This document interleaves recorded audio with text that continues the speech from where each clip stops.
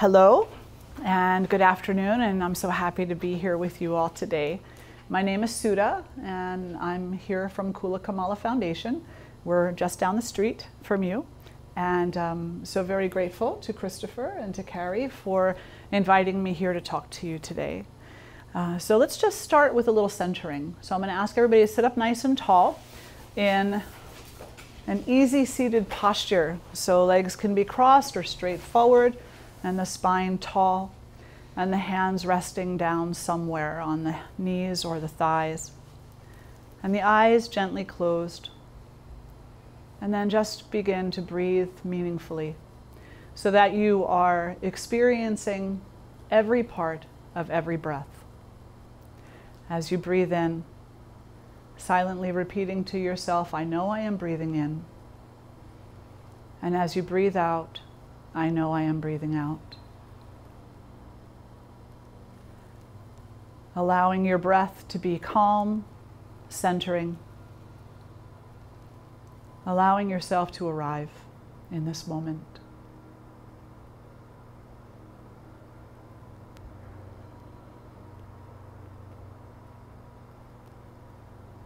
And taking a moment to set an intention in the midst of that stillness, in the midst of that peace. And perhaps the intention would be receptivity and openness to the potential, to the possibility.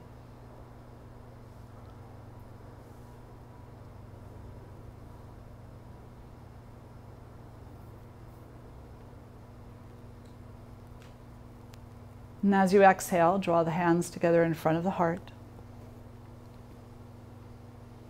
And together we'll chant one beautiful Om. Take a nice breath in. Om.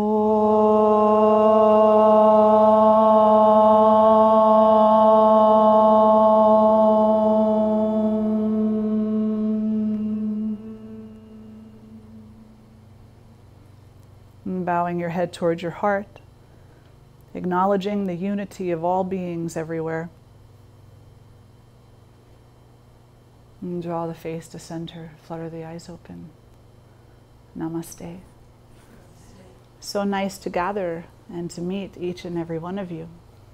I'm so happy to be here with you. So today we're going to talk a little bit, or a lot, about the lessons that yoga provides to us as householders living in a world that is somewhat busy, somewhat confusing, chaotic, and talk about how the variety of sacred texts that are associated with yoga support us in understanding how to make choices, how to control impulses, how to resolve conflicts. And so it's a very vast conversation. And sometimes there's confusion around terms or meanings. And try not to get caught there. Receive what you receive. Integrate it into your being in whatever way makes sense to you. And then, like everything else in this life, over time, it will cultivate its own meaning for you and its own application. So there's nothing that I say here today that um, I'm trying to change your way of thinking or impose upon you a perspective. Everything today is a suggestion, a possibility of looking at potential, your potential, my potential, our potential, to walk through this life peacefully, compassionately, and in unity. And so, with everything in yoga, we should always start with a chant to Ganesh. Is everybody familiar with who Ganesh is? Yeah? Wonderful. Very good. And so, we'll do nine Om Gam Ganapataye Namaha. I'll do the first and then join in. And so, again, just sitting tall. May the obstacles in this lifetime be purposeful. May the obstacles in this lifetime be meaningful to us on a knowable level and may the obstacles that are not purposeful be resolved. Om Gam Ganapataye Namaha. Om Gam Ganapataye Namaha. Om Gam Ganapataye Namaha. Om Gam Ganapataye Namaha. Om Gam Ganapataye Namaha. Om Gam Ganapataye Namaha. Om Gam Ganapataye Namaha. Om Gam Ganapataye Namaha. Om Gam Ganapataye Namaha.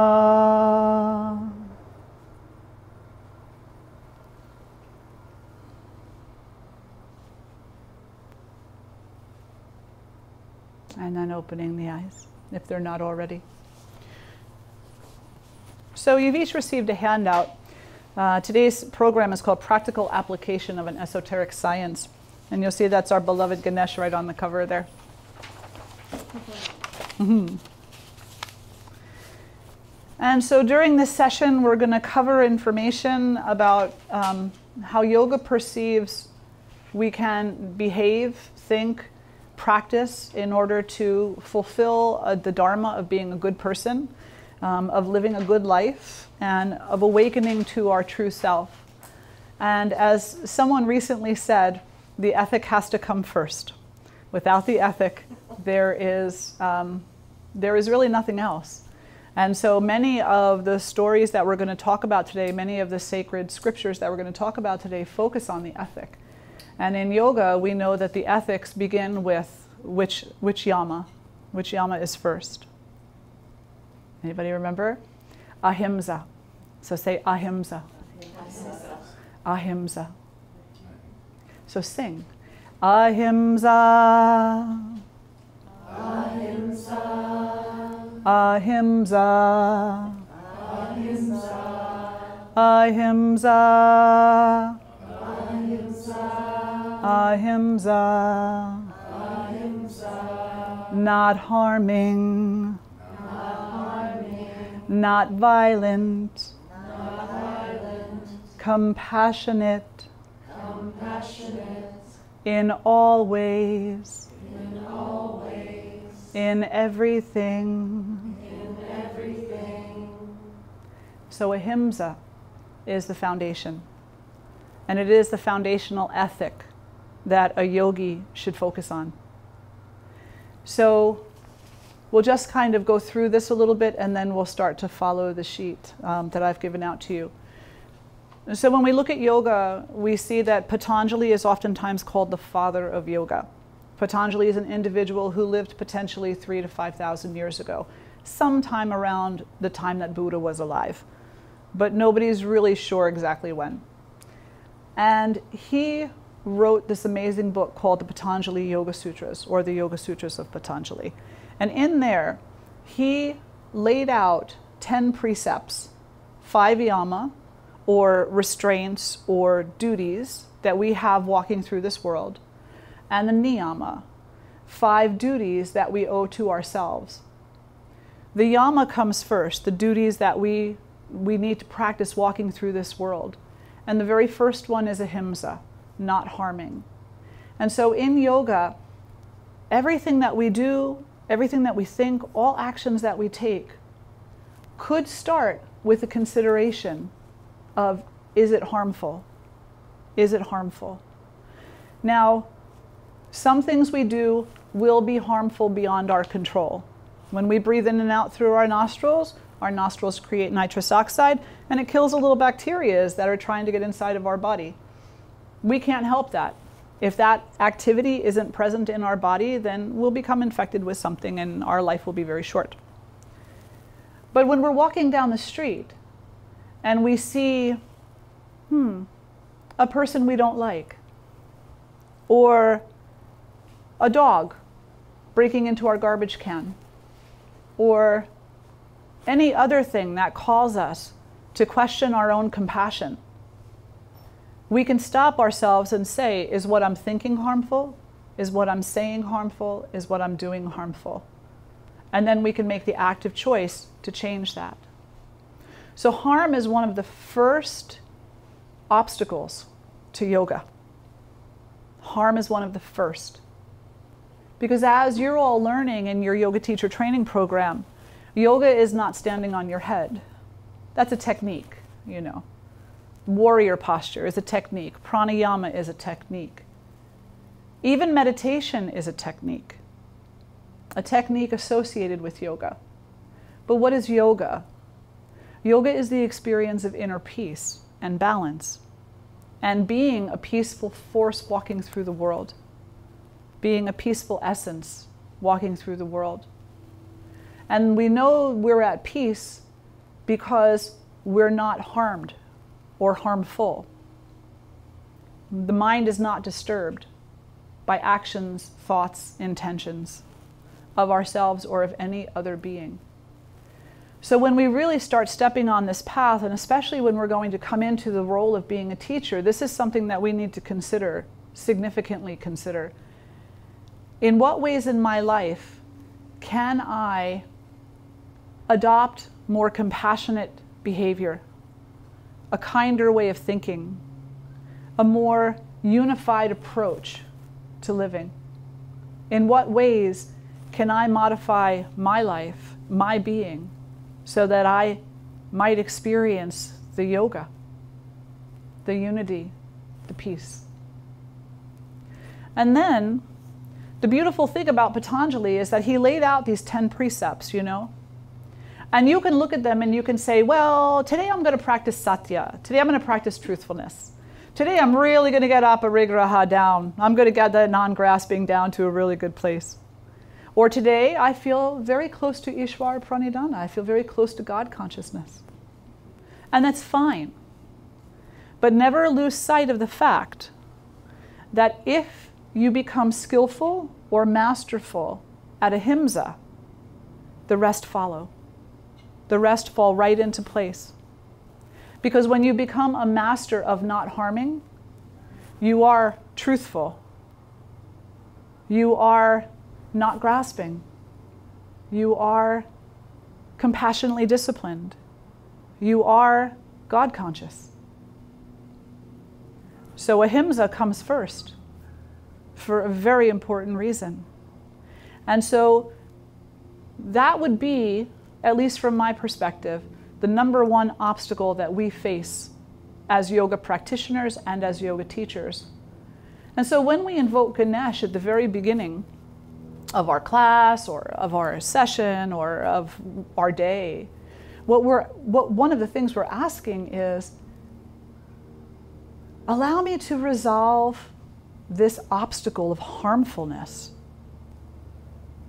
Allow me to resolve that tendency so that I can be the good person that I know I am, the good yoga teacher I know I am, the good friend I know I am. So, this is just one example of how you can interpret the teachings of yoga and the sacred writings of India and apply them to your life, not just your yoga practice on the mat, but your sadhana or your spiritual practice off the mat as well. And again, when we come to ahimsa, this concept of not harming, it is potentially the most important. So let's go to the second page, which is a mantra, which you have probably all heard before.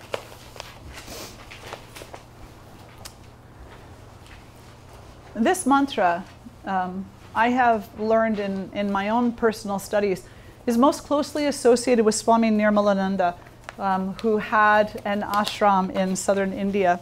He was lovingly known as the silent yogi or the silent master, the silent guru, because he took a vow of silence for 10 or 12 years. And he felt that until we have this concept of ahimsa mastered, our suffering will not stop. And therefore, in his perspective, and in many of his students and followers' perspective, this statement Loka samasta sukhino bhavantu is the most important statement that we can make. It's the most important intention that we can set. It has a place in every single yoga class and in every single day and in every single moment. Loka samasta sukhino bhavantu. May all beings be happy and free from suffering. And then in the Jivamukti lineage, which was founded by Sharon Gannon and David Life, they, they extrapolated that definition out a little bit. And they said, and may my thoughts, my words, and my actions have something to do with that. So, right there, you have very skillful teachers who are saying, first, set the intention to see that all beings are freed from suffering, and second, do something about it. Be the change you wish to see in the world, which is one of Gandhi's famous quotes. Be the change you wish to see in the world. So here, loka samasta sukhino bhavantu, the practice of yoga, including meditation, pranayama, and asana, give us the opportunity to experience what it is like to be the other. So you take tree pose on your mat. Most of us, when we take tree pose, we might think to ourselves, wow, I've really got great balance. Or, wow, I really don't have great balance. We forget that we're assuming the tree pose. We're not to be concerned with how our balance is more than we are to be concerned about what the tree goes through being the tree. We take downward facing dog pose. We're being the dog. You know, we're, we're learning what it's like for the dog to alleviate its own tension. We take snake posture, you know, cobra, or locust posture, or, or any of the postures that are named and, and modeled after um, an entity of some sort. What we're actually doing is placing ourselves in the shoes or the roots of that being and saying, What is it like to be a tree? What do I have in commonality with that? What can I learn from that? Well, here are some things you can learn from the tree. You can learn how to be strong but flexible. You can learn how to be tall but grounded. You can learn how to be not attached. You can learn how to be a support, how to have no expectation. This time of the year is so beautiful. It's fall, you know? And the leaves, uh, they've, they're just past their peak now, but were they not beautiful this year? They were so stunning. And you see that they start to fall off of the tree. And they don't say, Put me back. They just follow whatever journey it is that they're meant to be on. That's where they go. We can learn from that. Because how many ways, in how many times, and how many days do we say, Put me back? somewhere to a prior condition, to a prior happiness, to a prior memory. The tree, its branches, its twigs, and its leaves teach us how to be here now, in this moment, seeing and accepting what is. For your students in your yoga classes, and hopefully you'll all be teaching so many yoga classes. For your students, one of the most important things that you can teach them is how to be not harmful to themselves and how to be present. And so now you've got three great tools to do that conversation of ahimsa, loka samasta sukhino bhavantu, and tree pose. So it goes beyond just teaching a technique.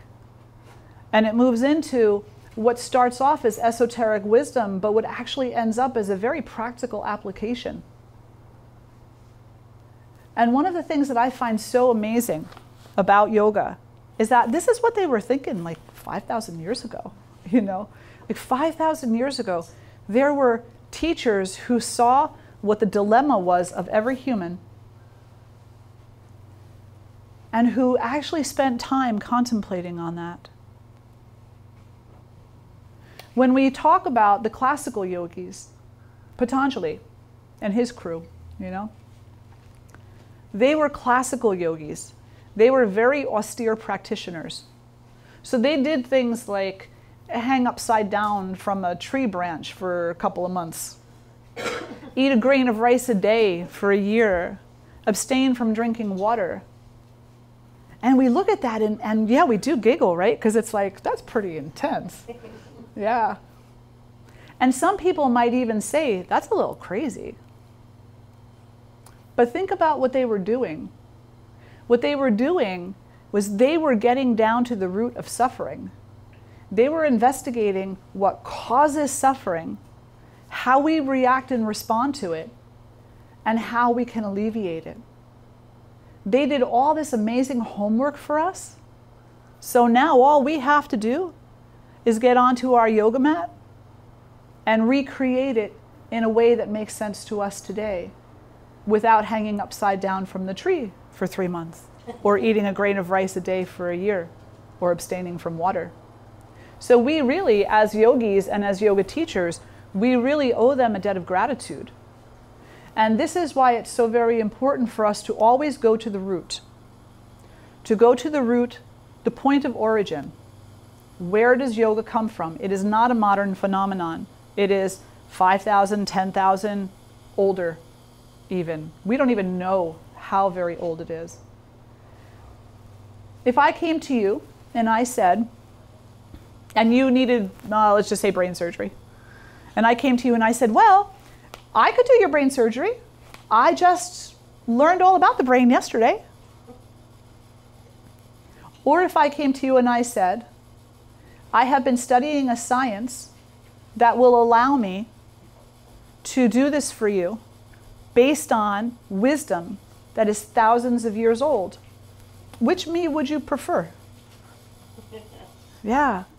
So acknowledging the root, acknowledging where this science and spirituality comes from, instills in the student a level of confidence that you are following a path that is tried and true and not something that was just made up yesterday. And lineages in the world today, no matter what they're called, all come from that same root. They may be presented in slightly different ways, but they all come from that same root. And so that's the next thing that, you know, studying the sacred writings of India has to offer us as yoga practitioners and as yoga teachers is a foundation, is a root, a place from which whatever it is that we're teaching comes from, whether it's the tree pose or the locust pose or the meditation or the pranayama. So all these things come from that place. So we are then and there giving our students a reason to feel confident about the teachings. But the other thing that I usually find very interesting is that they did do this five, 10,000 years ago, and we're still practicing. so we haven't quite got it yet, you know? We, we're still interpreting, we're still finding our way through. Soon, very soon.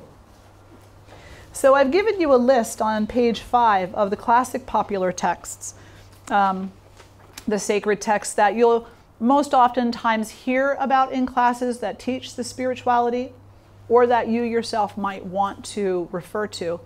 And so just briefly going down, we have the Vedas, which are called Shruti because they are heard, they are received, they were not written down, you know, or created by people, they're divine um, divinely inspired. And um, they were received by the rishis, so the rishis wrote them. The word Veda means knowledge.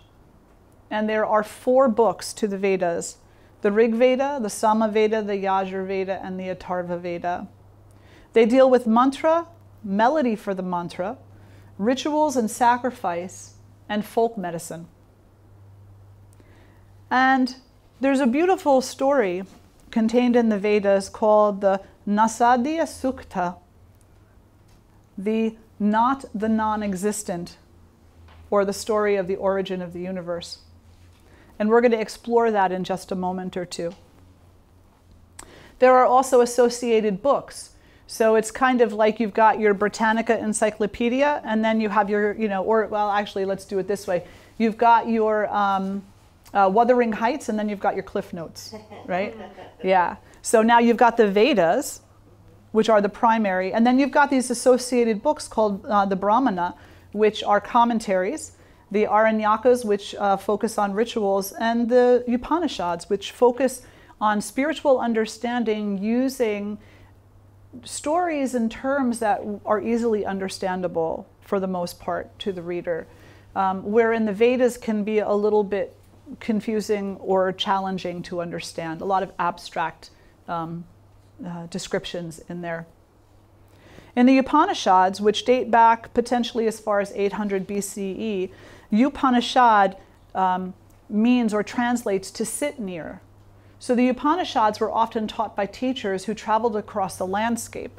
And they would gather, kind of like we're gathered here today, probably sitting under a tree somewhere on a nice day. And the teacher would share with them a story. And then each individual would take from the story what they took. You know, there would definitely be a lesson there to be learned how to be a good person, how to live a good life, how to be a member of a community, how to uplift others, how to experience consciousness, how to self awaken.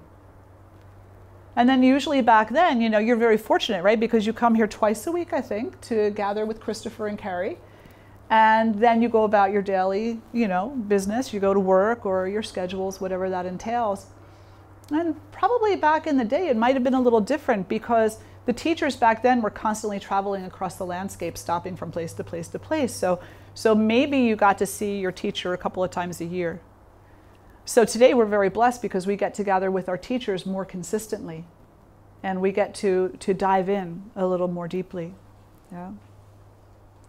Um, it's referred to as the Vedanta, which means that it's the end of the Veda. So the Vedas and then the Upanishads were, were written closer toward the end of that series of books. And so it's called Vedanta. Uh, there are over 200, some say 252, that have been written, of which 108 are um, considered early or traditional texts. And then there are 14 primary texts, and I've listed those out for you. So now, just there in, in those two, in the Vedas and the Upanishads, you have class themes for the rest of your teaching experience. If you need a theme for your class, an inspiration, an intention, uh, Eknath Easwaran wrote a wonderful book called The Upanishads. And it's his commentary or his reflection on those writings. Purchase the book, open up to any page, and anything you read on that page, you will be able to theme an entire class and even a workshop or a series out of. Because everything that is written in the Upanishads is amazingly powerful. The lessons about life and death, the meaning of life, consciousness and unison with the divine, the meaning of Om, the primordial sound of the universe. All of these conversations are included in the Upanishads. And therefore, they are a very rich resource for you. And in a little while, we'll be going over um, a story or two from there and talking about how you can incorporate that into a class or a workshop. Then we have the Bhagavad Gita. How many of you have read the Bhagavad Gita? Very good. And I do understand that you'll be diving into that a little bit later in the training. Yeah. The Bhagavad Gita is potentially the primary scripture in yoga. It is a conversation between Krishna, who is the Godhead, and Arjuna, who is many things his cousin, his friend, his student. And this conversation, which has been taken out of a larger book called the Mahabharata, this conversation, which is 18 chapters long, potentially answers every question you could ever ask in this life about your purpose, the cause and resolution of suffering, and the path to enlightenment.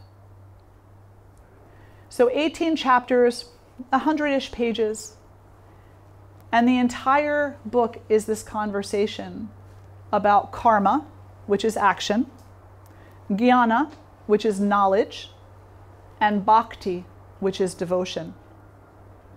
So, action, knowledge, and devotion.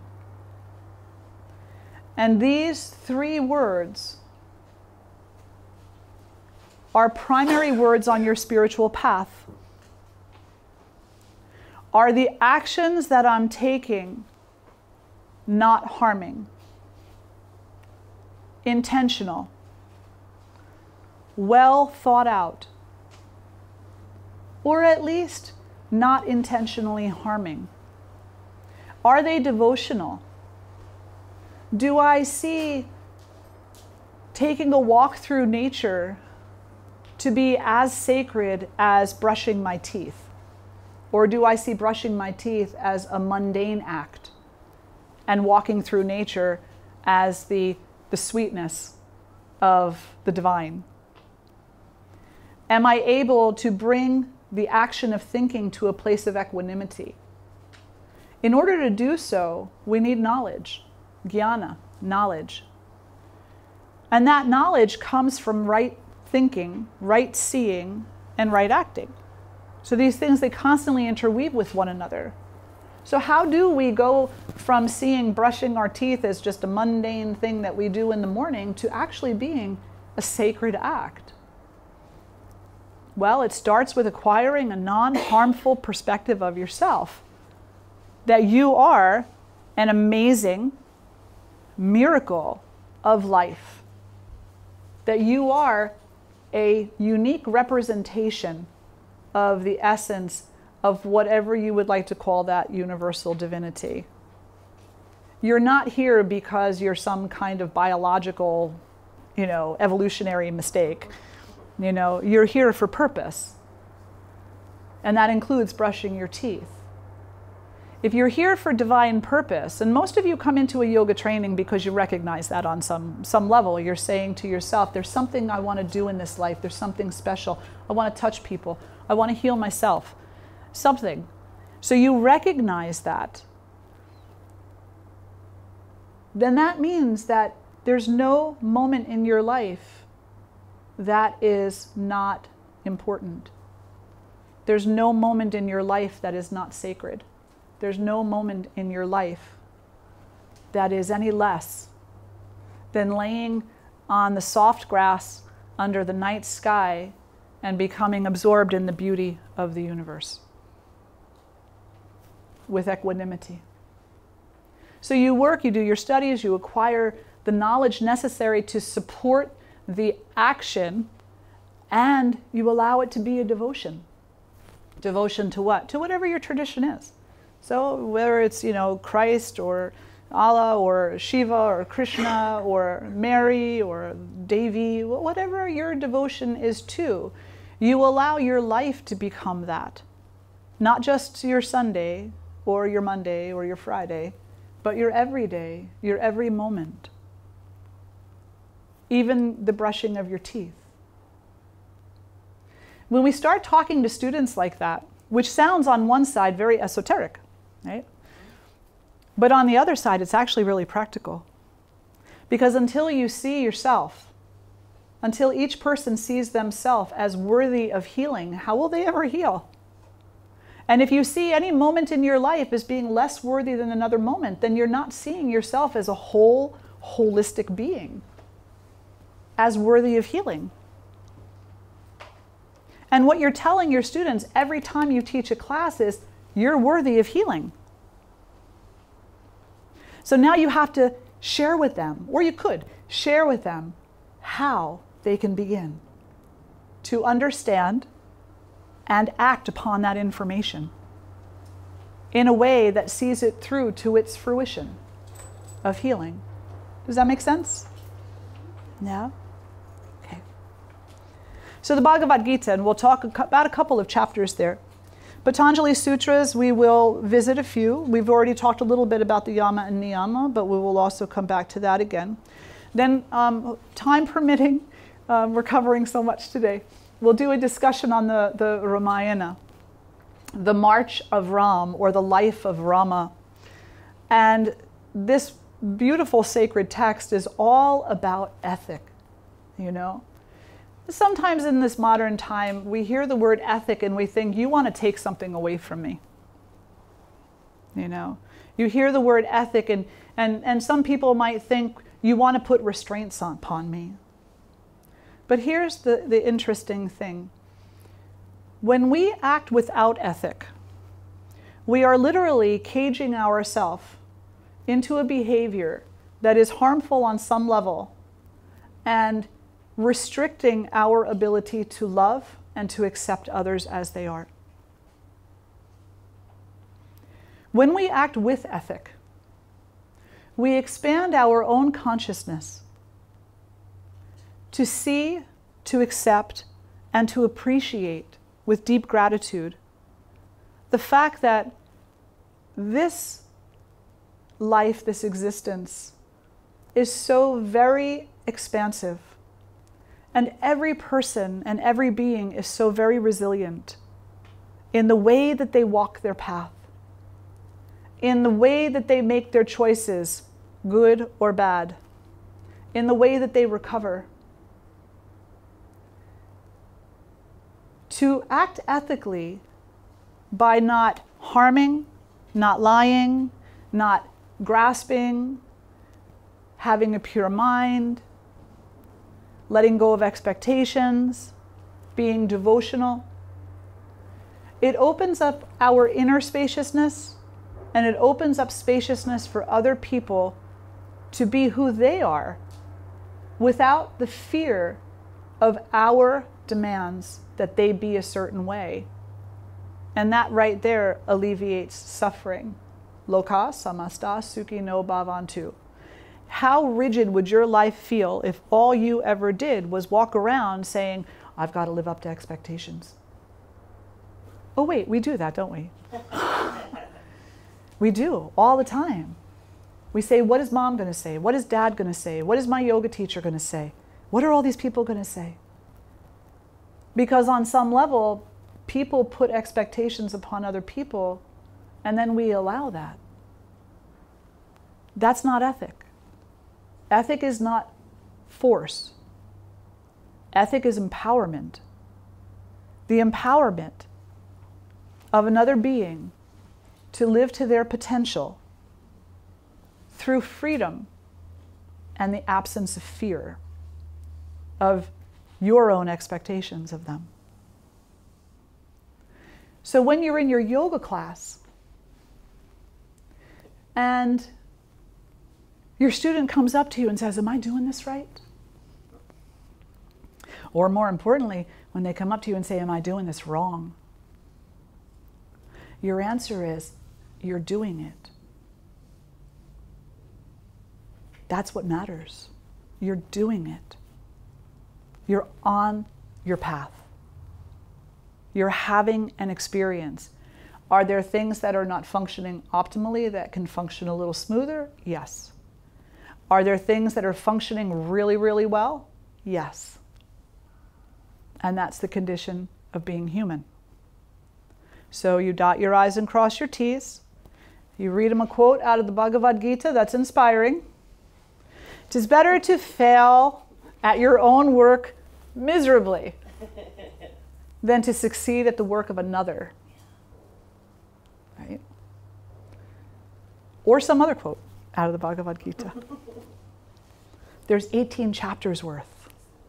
You see what I mean? We could stop there, you know, and that's like enough for the rest of our teaching careers all put together, you know, but we'll keep going. So in the Ramayana, you know, we can talk about how Hanuman, how Hanuman faced, you know, demon after demon after demon who tried to stop him from fulfilling his purpose, his sacred purpose, his divine purpose of being of service to Ram. Time and time and time again, through criticism, through expectation, through um, incorrect information, all of these influences tried to sway his love, his devotion. And time and time and time again, he said, I won't be swayed. Your expectations are not my problem. My love for Ram supersedes all. And we'll get to the bottom of that shortly. And then we come to the Devi Mahatmya. So I consider myself a Shakta. A Shakta is a person who um, sees the divine feminine as the foundation, What is the divine feminine? A woman? Uh, no, it's an energy. There are two potentialities in the universe there is stillness and there's movement. There's logic and there's creativity or imagination. There is strength or hardness and there's softness. There's um, obvious and mystery. The masculine is most oftentimes associated with that which is stable, still, logical, hard, strong, and obvious. The feminine is associated with the opposite the creativity, the mystery, the movement. A Shakta is a person who feels that that, that is the foundation of the structure of the universe, the divine feminine. The divine masculine absolutely is there too. So, how do we know the divine masculine is there too? You know, because really they're both just kind of like level with each other, right? We have Shiva and we have Shakti. Shiva is the representation of the divine masculine. Shakti is the representation of the divine feminine. He sits in meditation. He's known as the great meditator. And Shiva, in, in a, a, the human form, will meditate for thousands of years. Until Shakti says, Let's go. and she causes him to move somehow. And then they engage in a dance, a dance that manifests the reality that we live in, or the non reality, depending upon what words you want to use. The lila, the play, back and forth. So you have the divine masculine and the divine feminine. And a Shakta is a person who generally sees the importance of the divine feminine. Now, today's world that we live in is very much hyper focused on the masculine. And not so much for its benefit. Look, if you don't have any strength, you're weak, correct? If you don't have any logic, then how do you do problem solving? You know, even the most creative problem solver has to have logic. So the masculine is necessary. But the masculine has, over the centuries, gotten a little out of control and completely overwhelmed the feminine. And what that has led us to, and you'll see this in your students, in your classes, is a sense of rigidity, a sense of critical self judgment, a lack of compassion, and confusion over the importance of self awareness. Who am I trying to satisfy here? Myself or my boss? Myself or, you know, um, to look a certain way in a yoga class, to be a certain way in a yoga class? Is my posture as good as hers or his? That would be a lot of masculinity because that's competition. So when we are studying the Devi Mahatmya, what we're saying is we need to expand. We got to come out of this contraction. We have to expand. And, and yes, there is a place for strength, but there's a place for softness. There's a place for, for logic, but there's a place for creativity. There's a place for all of it. And this is why, on some level, we see this beautiful rendition or this beautiful um, representation of Shiva and Shakti in what's called the Ardha Narishwara, which is the intertwined male and female or the being who is half masculine, half feminine. Because this gentleman here is not just masculine, and I'm not just feminine. I have masculine, and he has feminine.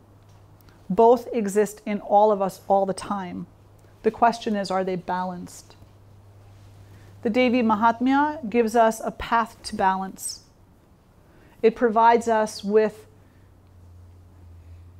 a way of seeing and experiencing the world that heightens our understanding and invites a deeper level of knowledge and an ability to recognize that when something is out of balance, it is always, without exception, under our control to bring it back. Always and without exception. We have that ability, even when we feel hopeless, even when we feel we don't. And so these scriptures, which I've, I've spent the first portion of our time introducing, we're going to dive into. For the next two hours, we're going to come into a deeper study of some parts of these scriptures. We're going to take a little bit of a break. Um, but it, before we do that, does anybody have any questions or comments that they would like to share? Is it resonating? Yes, absolutely. Yeah. yeah. Is it easy? No. It's not easy. It's not easy. Do you look forward to the journey? Yes. With great curiosity. Excitement. Excitement. Yeah. And apprehension. Mm-hmm. Yeah. Absolutely. Absolutely. A very healthy balance there. You know, it's a very healthy balance. To look and to say, you know what, I don't know it all. I only know a little. I know enough to get me started, and I know enough to support you starting. But the rest of it is as vast as that night sky is. So let's take a break, and we'll come back in um, 10 minutes. And in that time, um, be silent. In these 10 minutes, be silent, do what you need to do, get your tea, use the restroom, whatever it happens to be. And in that silent time, if there was one or two things that we just discussed that resonated with you, sit with that, contemplate it, and see where it belongs in you. Good? Okay, 10 minutes. Thank you.